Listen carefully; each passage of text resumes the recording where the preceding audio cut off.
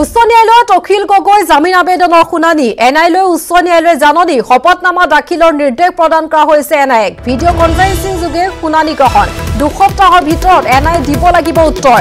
জামিন সন্দৰ্ভত পৰৱৰ্তী শুনানি হ'ব তেৰ অক্টোবৰত। ন্যায়াধীশ কল্যাণ ৰায়চুৰানা আৰু ন্যায়াধীশ মঞ্জিত ভূঞাৰ এখন দুজনীয়া বিচাৰপীঠে গ্ৰহণ কৰে শুনানি।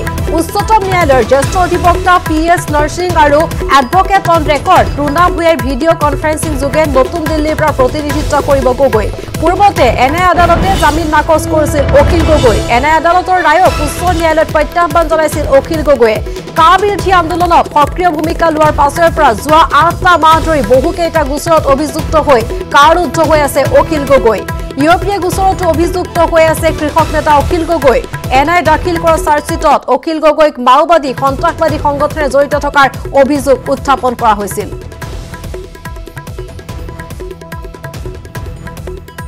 আৰু সন্দৰ্ভত আমাক আৰু অধিক তথ্য জনাব দিল্লীৰ পৰা পাৰ্থজ্যোতি বৰাই পাৰ্থ।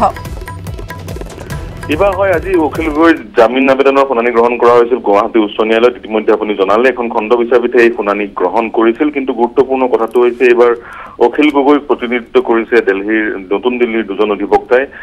জ্যেষ্ঠ অধিবক্তা তথা ভাৰতৰ প্ৰাক্তন এডিচন চলিচিটৰ জেনেৰেল পি নৰসিম্হা আৰু এডভকেট অন ৰেকৰ্ড ৰুণাম ভূঞাই নতুন দিল্লীৰ পৰা ভিডিঅ' কনফাৰেন্সিঙৰ যোগেদি অখিল গগৈক প্ৰতিনিধিত্ব কৰিছে আৰু গুৱাহাটীত অখিল গগৈৰ অধিবক্তা শান্তনু বৰঠাকুৰ গুৱাহাটীত উচ্চ ন্যায়ালয়ত উপস্থিত আছিলে। ইতিমধ্যে আপুনি জনালে অখিল গগৈৰ শুনানি গ্ৰহণ কৰিলে উচ্চ ন্যায়ালয়ে আৰু শুনানি গ্ৰহণ কৰাৰ পিছত এন আই লৈ জাননী প্ৰেৰণ কৰা হৈছে। যিহেতু আজি প্ৰথম হিয়াৰিং গতিকে গতানুগতিকভাৱে সেই প্ৰক্ৰিয়া উচ্চ ন্যায়ালয়ে গ্ৰহণ কৰিছে। এন আইক জাননী প্ৰেৰণ কৰা হৈছে আৰু এন আইক দুসপ্তাহৰ ভিতৰত জাননীৰ উত্তৰ দিবলৈ নিৰ্দেশ দিছে উচ্চ ন্যায়ালয়ে। উচ্চ ন্যায়ালয়ৰ খণ্ড বিচাৰপীঠে আৰু পৰৱৰ্তী শুনানি তেৰ তাৰিখে তেৰ অক্টোবৰত ধাৰ্য কৰা হৈছে। বিগত সময়ত এন আইৰ বিশেষ আদালতে অখিলৰ জামিন মঞ্জুৰ কৰা নাছিলে আৰু সেই মঞ্জুৰ নকৰা নিৰ্দেশকে প্ৰত্য- প্ৰত্যাহ্বান জনাই অখিল উচ্চ ন্যায়ালয়ৰ কাষ চাপিছে। ইতিমধ্যে এন আই অখিলৰ বিৰুদ্ধে চাৰ্জশ্বিট দাখিল কৰিছে এন আই আদালতত আৰু সেই চাৰ্জশ্বিটৰ অখিলক সন্ত্ৰাসবাদী আখ্যা দিছে তদন্তকাৰী সন্থাটোৱে আৰু মাওবাদী সংগঠনেৰে জড়িত হৈ থকাৰো অভিযোগ উত্থাপন কৰিছে তদন্তকাৰী সংগঠনটোৱে অখিলৰ বিৰুদ্ধে। বিশেষকৈ দুহেজাৰ আঠ চনত অখিলৰ নিৰ্দেশতে কেইজনমান ল'ৰাই ঝাৰখণ্ডলৈ গৈ বা অসমৰ বাহিৰলৈ গৈ মাওবাদী সন্ত্ৰাসবাদীৰ আলোচনাত মিলিত হৈছিল বা তেওঁলোকৰ পৰা কিছু প্ৰশিক্ষণ গ্ৰহণ কৰিছিলে। বা সামৰিক প্ৰশিক্ষণো গ্ৰহণ কৰিছিলে এনেধৰণৰ কথা চাৰ্জশ্বিটত উল্লেখ আছে। কিন্তু যি কেইজন ব্যক্তিৰ উইটনেছ লৈ সেই কথা উল্লেখ কৰা হৈছে সেই ব্যক্তিকেইজনৰ কিন্তু পৰিচয় গোপনে ৰাখিছে এন আই এ।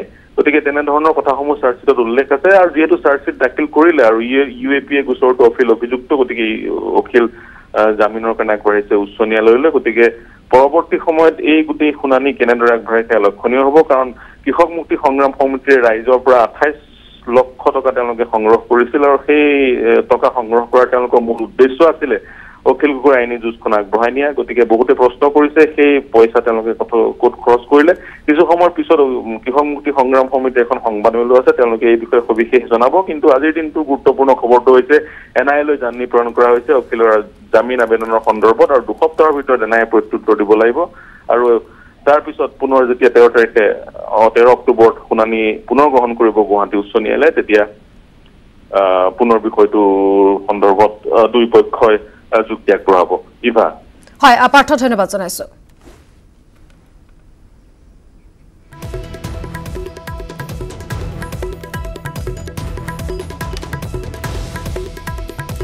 আগুৱাইছো পৰৱৰ্তী খবৰলৈ। জাগিৰোডৰ গোভাগত অপৰিৱৰ্তিত বান পৰিস্থিতি। বানৰ ফলত এগৰাকী পশুটিক নাৱেৰে নিবলগীয়া হৈছে চিকিৎসালয়লৈ। জাগিৰোড সমষ্টিৰ বহু লোক এতিয়াও আশ্ৰয় ল'বলগীয়া হৈছে ৰাষ্ট্ৰীয় ঘাইপথত। আপোন ঘৰখন এৰি অনাহাৰে অনিদ্ৰাই ৰাজপথত দিন অতিবাহিত কৰিছে হাজাৰ হাজাৰ লোকে। কেইবাদিন ধৰি হৈ অহা নেৰানেপেৰা বৰষুণ আৰু কাৰ্বিলাংকি জলবিদ্যুৎ প্ৰকল্পে এৰি দিয়া পানীয়ে এতিয়া সন্ত্ৰাসৰ সৃষ্টি কৰিছে কেইবাখনো গাঁও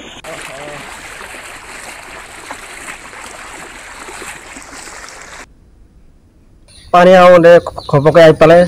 আমি যিমানখিনি ধানখিনি ওলাব পাৰোঁ বাকী বাকী থাকি গ'ল। আৰু কাপোৰ খাইবিলাক খাই গ'ল বাকী। তাৰপিছত আৰু কৃষি পথাৰত ধানবিলাক নষ্ট হৈছে বহুত। এতিয়া ঘৰৰ যিবিলাক আপোনাৰ সামগ্ৰী সেইবিলাকো নষ্ট হৈছে? এইবিলাক নষ্ট হৈছে চল গেছ গোটেই যিবিলাক থাকি গ'ল। আৰু খেতি পথাৰত ধান ধান খেতি কৰিছিলে? অঁ কৰিছিলোঁ। নষ্ট হ'ল? নষ্ট হৈছে। এতিয়া বৰ্তমান খুবেই মানে যদিও পানী শুকাইছে পানী যদি কমি গৈছে তথাপিও মানে এতিয়া পানী শুকোৱাৰ পাছত যিখিনি মানে অসম চৰকাৰে স্বাস্থ্য বিভাগে যিখিনি পদক্ষেপ ল'ব লাগিছিলে যিখিনি ইয়াত ফেনাৰ দিয়াৰ ব্যৱস্থা কৰিব লাগিছিল যিখিনি ঔষধ পাতি দিয়াৰ ব্যৱস্থা কৰিছিল গৰু ছাগলী বা মানুহ মানে সকলো জীৱ জন্তুৰ কাৰণে যিখিনি ব্যৱস্থা কৰিব লাগিছিল সেইখিনি ব্যৱস্থা আজিলৈকে কৰিব পৰা নাই। যদিও মানে চৰকাৰৰ বাবে যিটো মানে গাহৰি খাবৰ কাৰণে যিখিনি দানা দি আছে সেইখিনি যথেষ্ট নহয় কিন্তু তথাপিও প্ৰথমতে মানে মানুহৰ বিশেষকৈ মানুহৰ কাৰণে স্বাস্থ্য পাতি ভাল ৰাখিবৰ কাৰণে ভাল খোৱা পানীৰ ব্যৱস্থা কৰিব লাগিব ঔষধ পাতি দিব লাগিব। তাৰপিছত এতিয়া এইখিনি আমাৰ গোবা পঞ্চায়তত গোবা পঞ্চায়ত অন্তৰ্গত ডাবৰগাঁও বা ফাকুলি হাবি কিচাম বা আপোনাৰ কুমাৰকুচি যিখিনি য'ত নেকি আপোনাৰ উপ স্বাস্থ্য কেন্দ্ৰ আছে তাত কোনো নাৰ্ছো নাথাকে ডক্তৰো নাথাকে। আৰু ইফালে আহিনমহীয়া বানে তছনছ কৰি পেলাইছে কামপুৰ আৰু ৰহাৰ বিস্তীৰ্ণ অঞ্চল। কাৰ্বি লাম্পি জলবিদ্যুৎ প্ৰকল্পই পানী এৰি দিয়াত প্লাবিত হৈছে কামপুৰ আৰু ৰহা সমষ্টিৰ বহু অঞ্চল। বিৰাই বিপত্তি নোহোৱা অৱস্থা হৈছে বানাক্ৰান্তৰ লগতে পশুধনৰ। চৌদিশে কেৱল পানী আৰু পানী। এসাগৰ পানীৰ মাজত এতিয়া বাস কৰিবলগীয়া হৈছে বৰ্ণাত্যই কামপুৰত ওখ ঠাইৰ অভাৱত দলঙৰ ওপৰত শিবিৰ পাতি থাকিব লগা হৈছে বৰ্ণাত্য বৰপানী নদীৰ সপ্তমটো বানে সম্পূৰ্ণৰূপে বুঢ়াই পেলাইছে ৰহাৰ মাগুৰগাঁও আমতলা কমাৰগাঁও প্ৰমিলা আদি পঞ্চায়ত। আনহাতে কপিলী নদীৰ বানৰ কবলত পৰিছে বগলাজান পঞ্চায়তৰ গুইমাৰী কাকতিগাঁও আদি অঞ্চল। কামপুৰৰ বিভিন্ন স্থানত জলপ্ৰলয়ৰ ফলত সৃষ্টি হৈছে হাহাকাৰময় অৱস্থাৰ।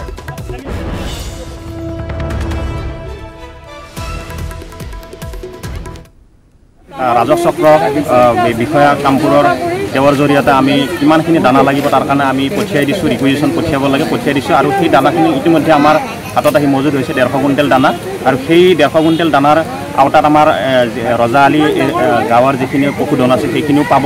গতিকে আজি সেই দানা আমাৰ যিটো ডিষ্ট্ৰিবিউশ্যন কাৰ্যসূচী বিতৰণ কাৰ্যসূচী সেইটো আমাৰ পশু চিকিৎসা পশু চিকিৎসা কেন্দ্ৰত আমাৰ চলি আছে আৰু তেওঁ মোৰ এজন সতীৰ্থ ডক্টৰ ডক্টৰ মনোজ লস্কৰ আৰু বা আমাৰ নগাঁৱৰ পৰা দুজন সতীৰ্থ ডক্টৰ আহি তেওঁলোকে সেইটো কামত ব্যস্ত আছে। আমাৰ যিখিনি গাঁওবুঢ়া আছে তেওঁলোকে তাত গৈ কিনে সেই দানাখিনি তেওঁলোকে ল'ব লৈ কিনে গাঁওবিলাকত দি দিব। সেইখিনিত আমাৰ কোনো অসুবিধা হোৱা নাই। লখিমপুৰত আৰক্ষীৰ জালত দুই দুৰ্ধৰ্ষ চোৰ এই চোৰকেইটাৰ পৰা জব্দ কৰা হৈছে বৃহৎ পৰিমাণৰ চুৰি সামগ্ৰী। টিভি মোবাইল ফোন বেটাৰী বাচন বৰ্তন আদি বিভিন্ন সামগ্ৰী উদ্ধাৰ কৰা হৈছে। ধৃত চোৰ দুটা লালুক পুখুৰীৰ চাকিদুল ইছলাম আৰু নুৰ হুছেইন। দীৰ্ঘদিন ধৰি লখিমপুৰত সন্ত্ৰাসৰ সৃষ্টি কৰি আহিছিল এই চোৰ দুটাই।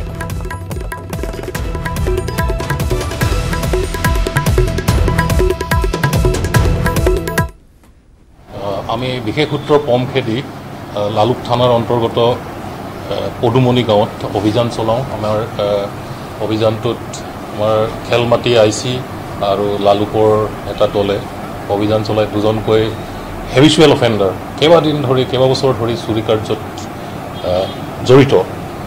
ছাদিকুল ইছলাম আৰু নুৰ হুছেইনক কৰায়ত্ব কৰিবলৈ সক্ষম হওঁ আমি আৰু তাতে তেওঁলোকৰ কবলৰ পৰা আমি বহুতো চুৰি সামগ্ৰী যেনে টিভি মোবাইল বেটেৰী পানী মটৰ আৰু মোবাইলৰ একচেছৰী আমি সাত কাৰ্টুন জব্দ কৰিবলৈ সক্ষম হওঁ। বাক্সাত পৰম্পৰাগত মাছ মৰা উৎসৱ। মুছলপুৰৰ সমীপৱৰ্তী থমনাত পৰম্পৰা ৰক্ষা কৰি সমূহীয়া মাছ ধৰাত অংশ ল'লে পাঁচ শতাধিকৰো অধিক লোকে।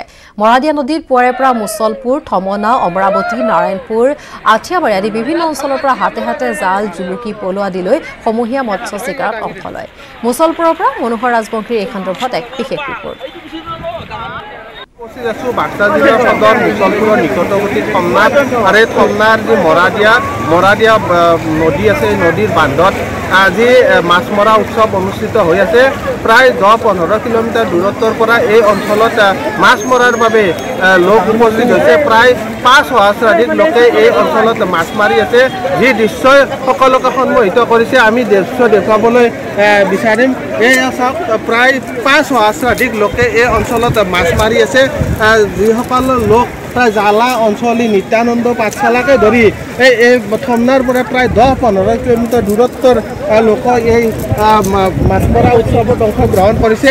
এই বিষয়ে আমি এই অঞ্চলৰ এগৰাকী ব্যক্তিৰ পৰা জানিব বিচাৰিম কেতিয়াৰ পৰা কেনেদৰে এই অঞ্চলত এই মাছ মৰা উৎসৱটো অনুষ্ঠিত কৰা হৈছে।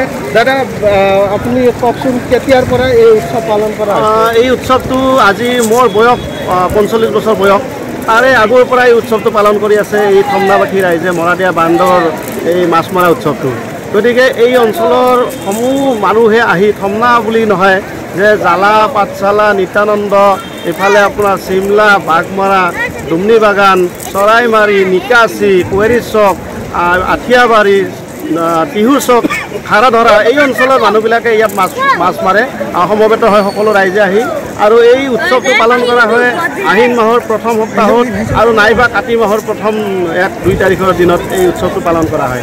এই কৃষিজীৱী ৰাইজসকলে এই অঞ্চলৰ যিবিলাক কৃষকসকল আছে এই কৃষকসকলৰ কাৰণে এই মৰাদিয়া বান্ধটো আছিল। এই মৰাদিয়া বান্ধটোত বহাগ মাহৰ পৰা পানীটো বান্ধ খাই থাকে আৰু বান্ধ খোৱাৰ পিছত এদিন এই মাছ মৰা উৎসৱটো এই সমূহীয়া ৰাইজে একগোট হৈ এইটো পালন কৰে। হয় প্ৰায় পঞ্চল্লিছ পঞ্চাছ বছৰ পূৰ্বৰে পৰা এই অঞ্চলত এই মাছ মৰা উৎসৱটো অনুষ্ঠিত কৰা হৈছে। কেইগৰাকীমান মাছমৰীয়া আছে তেওঁলোকৰ পৰা জানিব বিচাৰিম দাদা কি কি মাছ পাইছে আৰু কেনে লাগিছে আজি? আজি বহুত ভাল লাগিছে। আমাৰ ইয়াত প্ৰতি বছৰে পালন মাছ মৰা উৎসৱ পালন কৰা হয়। ইয়াতো বহুত ভাল লাগে ইয়াত বহুত মানুহ আছে আজি আমাৰ বহুত ভাল লাগিছে আৰু বহুত ভাল লাগিছে। কি কি মাছ পাইছে? ইয়াতে কমকা পাইছে বৰালি পাইছে ৰৌ মিৰিগা চব সৰুৰ পৰা ডাঙৰলৈ পাইছে আৰু। কৰোণা মহামাৰীয়ে বাৰুকৈয়ে প্ৰভাৱ পেলাইছে দেশৰ বাইক মেকানিকসকলৰ জীৱনত। লকডাউন প্ৰত্যাহাৰ পাছত লাহে লাহে কৰ্মক্ষেত্ৰলৈ উভতিছে মেকানিকসকল। কিন্তু এওঁলোকক এতিয়া প্ৰয়োজন আমাৰ কিছু সহায়ৰ। আৰু সেই উদ্দেশ্যে ক্ৰেষ্টল এক্টিভ নেটৱৰ্ক এইটিনৰ সৈতে মিলি আৰম্ভ কৰিছে প্ৰটেক্ট ইণ্ডিয়ান ইঞ্জিন শীৰ্ষক এক অভিযান। Invite you to take a small pledge and commit your support to protect India's engine. It is an initiative to enhance the skill set, the knowledge of these mechanics who are so important to our lives so that they can serve you better in the future. Please give a missed call to 7574 or log on to www.protectindiasengine.com and commit yourself to the campaign.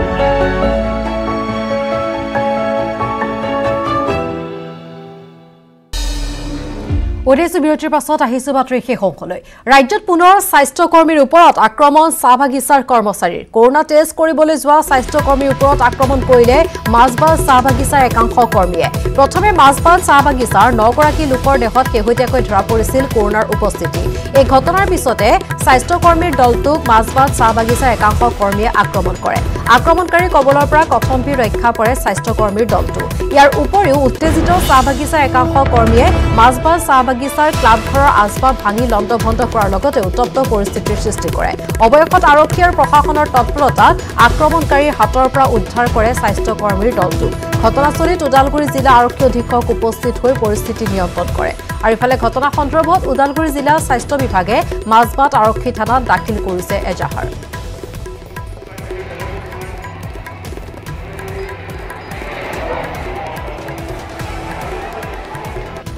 সেইখিনি সময়ত একদম কামতে ব্যস্ত আছিলোঁ। তাত সামৰিবই হৈছিলে। সেইখিনি সময়ত যিখিনি মানুহ এনেকৈ আহিলে আমি নিজে আচৰিত হৈ গৈছোঁ। হতভম্ব হৈ গ'লোঁ কি হ'ল?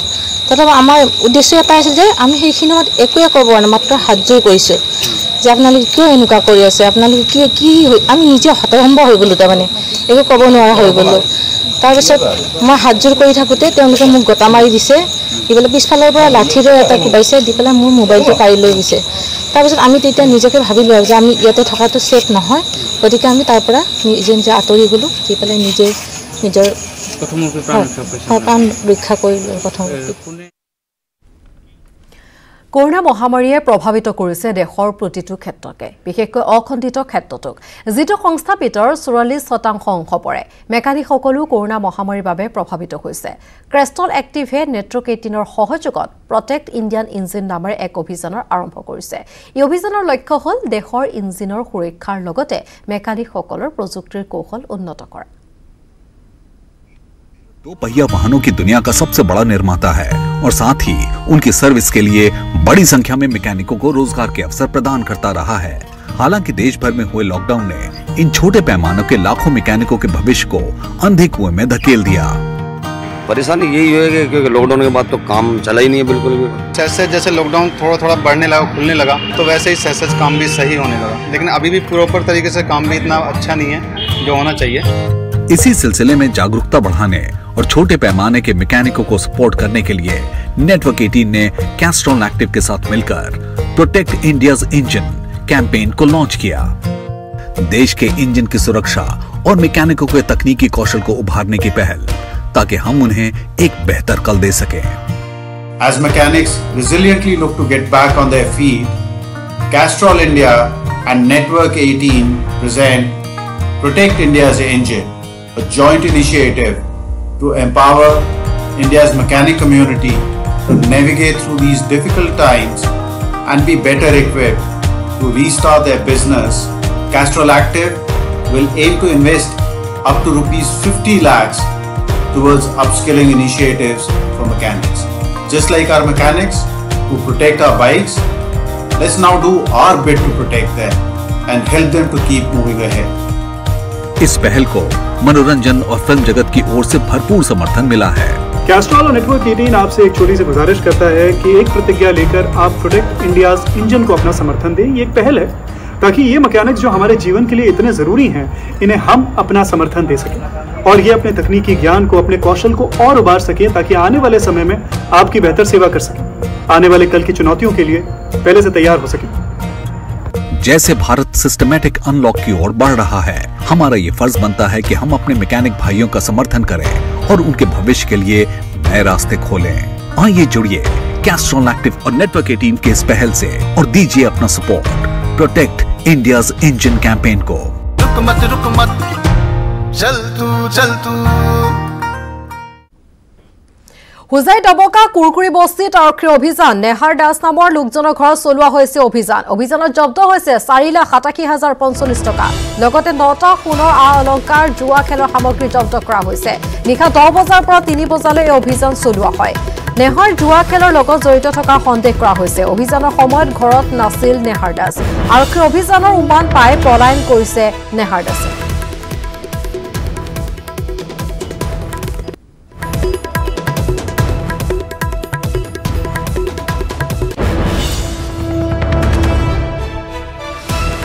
আৰু এই সন্দৰ্ভত দবকাৰ পৰা আগবঢ়াইছো আব্দুল হাকিমৰ এক প্ৰতিবেদন। বকা আৰক্ষীৰ সফল অভিযান বুলি ক'ব লাগিব। যোৱা নিশা আৰক্ষীৰ এক অভিযানত প্ৰায় পাঁচ লক্ষাধিক টকা জব্দ কৰিবলৈ সক্ষম হৈছে। ডবকা কুৰকুৰি বস্তি নামৰ এজন লোকৰ ঘৰৰ পৰা। মই নৱ নিযুক্তি আৰক্ষী অধ্যক্ষক হোজাই জিলাৰ মানৱেন্দ্ৰ দেৱ ৰয়ৰ ডবকা আৰক্ষী থানাত উপস্থিত হৈছে। তেখেতৰ পৰা এক্সক্লুচিভ সাক্ষাৎকাৰ ল'বলৈ আৰম্ভ কৰিম। হয় ছাৰ প্ৰথমতে আপোনাক হোজাই জিলালৈ স্বাগতম জনাইছোঁ। হোজাই জিলা অহাৰ পিছৰ পৰা সফল অভিযান বুলি ক'ব লাগিব। কেনেকুৱা ধৰণৰ কি ভিত্তিত উদ্ধাৰ কৰিছে তেখেতে অ চি এটা তেওঁৰ ছিক্ৰেট ইনফৰ্মেশ্যন তেওঁ এটা সন্ধান পাইছিলে স্থানীয় ৰাইজে তেওঁক জনাইছিলে এনেকুৱা এটা কুকাৰ্য এটা চলি আছে এই ধৰণৰ এটা অনৈতিক কাম চলি আছিলে তাত। আৰু যাৰ ফলত ওচৰ চুবুৰীয়া মানুহবিলাক জুৱা খেলিলে কি হয় মানুহ সৰহভাগ মানুহ হাৰাশাস্তি হয়। হাৰি যাব নিজৰ সা সম্পত্তি মটৰচাইকেল এইবিলাক ইত্যাদি বিক্ৰী কৰি জুৱা খেলিব কেতিয়াবা কেতিয়াবা তেওঁলোকে টকাৰ অভাৱত চুৰ কৰিব কিবা কৰিব এই ধৰণৰ এটা ছ'চাইটিখন সদায় দিনে বেয়াৰ ফালে গৈ থাকে। যাৰ কাৰণে এই আমি অভিযানবিলাক এতিয়া আৰম্ভ কৰিম। সকলো অ চি আই চিকে অলৰেডি ব্ৰিফ কৰা হৈছে যিমান ধৰণৰ জুৱা তীৰ সামাজিক যিটো এটা মানে পৰিৱেশ নষ্ট কৰা যিমানবিলাক হেৰি আছে অনৈতিক কাম আছে চববিলাক কাম আমি আমি সজাই জিলাত মই ষ্টপ কৰিম বুলি চবকে মই কৈছোঁ। আৰু তাৰে এইটো প্ৰথম আমাৰ অভিযান আমি ষ্টাৰ্ট কৰিছোঁ। আৰু যোৱা নিশা তেখেতে পাঁচ লক্ষাধিক টকা এনেকৈ হেৰি কৰিবলৈ চিজ কৰিবলৈ সক্ষম হৈছে। ইয়াৰ লগত বহুত মানুহ জড়িত আছে। তেওঁলোকে ওলাব আৰু হাউচ অ'নাৰটো আহ, নিশাই তেওঁলোকে গৈ পোৱাৰ আগতে পলাইছে। গতিকে তেখেতৰ ধৰা পৰিব তেখেতৰ কেইবাখনো পাছবুক আছে। সেই পাছবুকবিলাকতো আমি আজি বেংকত চাম আৰু তেখেতৰতো আৰ্থিকভাৱে তেওঁ ইমান ভাল নহয়। মানুহজনৰ আগতেও তাত তেওঁ বহুত ধৰণৰ মদৰ যিটো চোৰাং বেহাধেহা সেইবিলাক তেওঁ চলাইছিলে।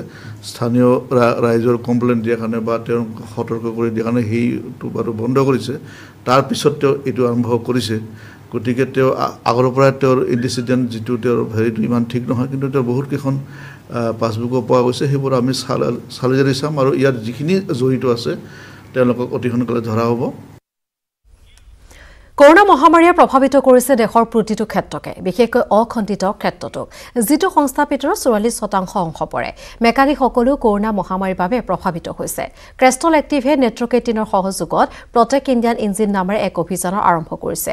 এই অভিযানৰ লক্ষ্য হ'ল দেশৰ ইঞ্জিনৰ সুৰক্ষাৰ লগতে মেকানিকসকলক প্ৰযুক্তিৰ কৌশল উন্নত কৰা। भारत दो पहिया वाहनों की दुनिया का सबसे बड़ा निर्माता है और साथ ही उनकी सर्विस के लिए बड़ी संख्या में मैकेनिकों को रोज़गार के अवसर प्रदान करता रहा है। हालाँकि देश भर में हुए लॉकडाउन ने इन छोटे पैमानों के लाखों मैकेनिकों के भविष्य को अंधे कुएँ में धकेल दिया। परेशानी यही है क्योंकि लॉकडाउन के बाद तो काम चला ही नहीं है बिल्कुल भी। जैसे जैसे लॉकडाउन थोड़ा थोड़ा बढ़ने लगा खुलने लगा तो वैसे ही सहज काम भी सही होने लगा। लेकिन अभी भी प्रॉपर तरीके से काम भी इतना अच्छा नहीं है जो होना चाहिए। इसी सिलसिले में जागरूकता बढ़ाने और छोटे पैमाने के मैकेनिकों को सपोर्ट करने के लिए नेटवर्क 18 ने कैस्ट्रॉन एक्टिव के साथ मिलकर प्रोटेक्ट इंडियाज इंजन कैंपेन को लॉन्च किया। देश के इंजन की सुरक्षा और मैकेनिकों के तकनीकी कौशल को उभारने की पहल ताकि हम उन्हें एक बेहतर कल दे सकें। As mechanics resiliently look to get back on their feet, Castrol India and Network 18 present Protect India's Engine, a joint initiative to empower India's mechanic community to navigate through these difficult times and be better equipped to restart their business. Castrol Active will aim to invest up to rupees 50 lakhs towards upskilling initiatives for mechanics. Just like our mechanics who protect our bikes, let's now do our bit to protect them and help them to keep moving ahead. I think India has the largest number of two-wheelers on road and keeping them running is this army of unsung heroes, our mechanics. So personally I don't think there could be a better title for this campaign because as I see it, it is the mechanics who are the real engines of this country. They keep our engines protected and help us keep moving ahead non-stop. So, I couldn't think of a better brand to actually take cognizance of this fact and really help this community. जैसे Bharat systematic unlock की ओर बढ़ रहा है, हमारा ये फ़र्ज़ बनता है कि हम अपने मैकेनिक भाइयों का समर्थन करें और उनके भविष्य के लिए नए रास्ते खोलें। आइए जुड़िए कैस्ट्रॉन एक्टिव और नेटवर्क 18 के इस पहल से और दीजिए अपना support protect India's engine campaign को।